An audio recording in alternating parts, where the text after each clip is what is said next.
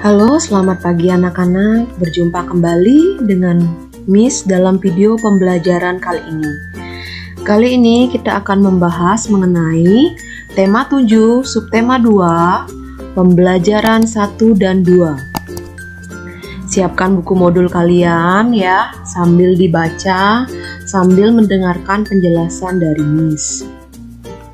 Baik anak-anak, kita mulai saja tujuan pembelajaran kita kali ini adalah yang pertama, siswa dapat mengetahui makna sila ketiga Pancasila dan penerapannya dalam kehidupan sehari-hari. Siswa dapat memahami pesan pada teks pidato. Siswa dapat memahami tari kreasi berpasangan. Yang terakhir kita akan tujuan pembelajaran terakhir siswa dapat menjaga kebersihan diri pada masa pubertas ya. Kita mulai saja pembelajaran kali ini. Yang pertama, kita akan membahas makna sila ketiga Pancasila dan penerapannya. Persatuan Indonesia merupakan isi dari sila ketiga yang makna atau artinya sebagai masyarakat Indonesia kita harus bersatu. Dengan bersatu, kita bisa memenuhi tujuan Indonesia untuk melindungi seluruh masyarakat dari peperangan dan perpecahan. Contoh penerapan Pancasila berdasarkan makna sila ketiga Pancasila. Contohnya yang pertama, bangga akan karya bangsa. Pengalaman sila ketiga biasanya dimulai dengan mencintai segala hal yang dibuat oleh bangsa sendiri, misalnya menggunakan produk-produk yang berasal dari Indonesia. Contoh yang kedua, menghargai perbedaan. Dengan adanya perbedaan suku, bahasa, dan kebudayaan, Indonesia dapat bersatu. Walaupun berbeda, uh, tidak menjadikan itu sebagai perpecahan ya, tapi harus menjadikan itu sebagai uh, landasan untuk kita bersatu. Selanjutnya menggunakan bahasa Indonesia. Bahasa Indonesia merupakan bahasa persatuan di mana saat kita berinteraksi dengan masyarakat yang berbeda budaya menggunakan bahasa Indonesia. Miss lanjutkan tentang pesan pada teks pidato. Pidato adalah pengungkapan pikiran dalam bentuk kata-kata yang ditujukan kepada orang banyak atau publik dalam situasi dan tujuan tertentu ya. Nah, tujuan penyampaian pidato yang pertama untuk memotivasi Nah, pembicara berusaha memberikan semangat, menekan perasaan yang kurang baik, serta menunjukkan rasa hormat dan pengabdiannya. Yang kedua, mengajak. Pembicara berusaha mempengaruhi keyakinan atau sikap mental para pendengarnya. Tindakan Pembicara menghendaki pendengar untuk bertindak sesuatu.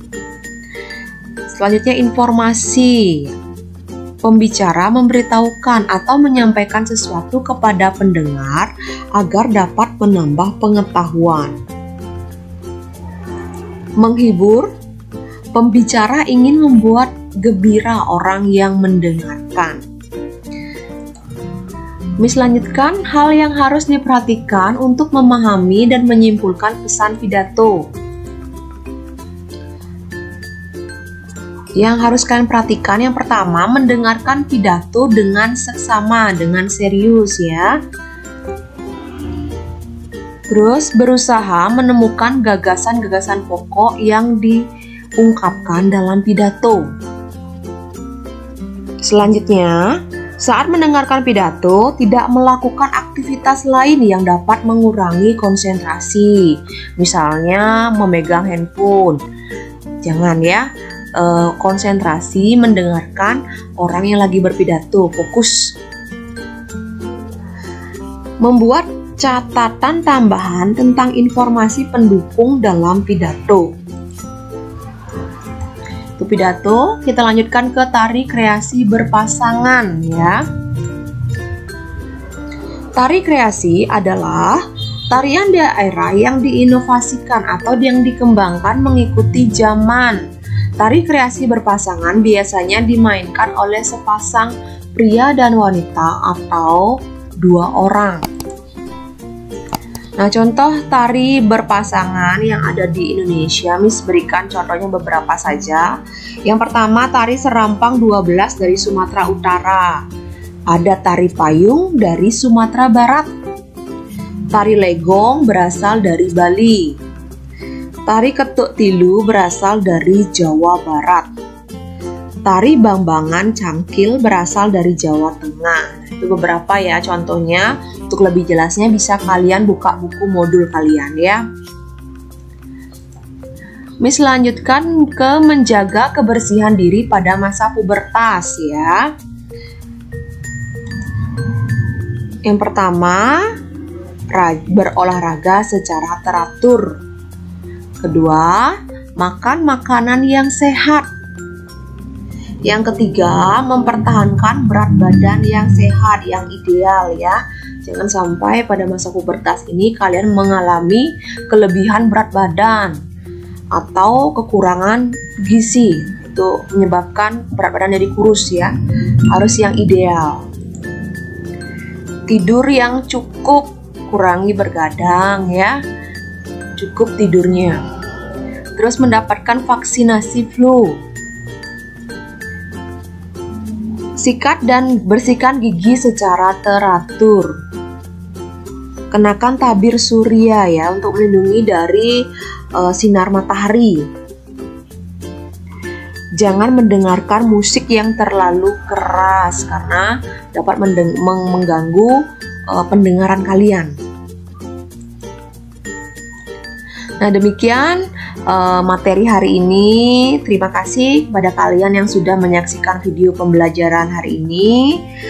Uh, selalu semangat, tetap simak video pembelajaran selanjutnya ya. Terima kasih anak-anak.